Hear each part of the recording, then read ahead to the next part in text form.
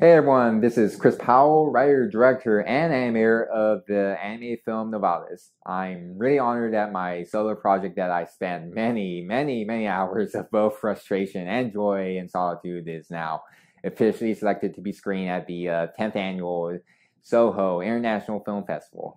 I look forward to coming to New York City again and to see all the amazing films there. Uh, check out the trailer and hope to see you there.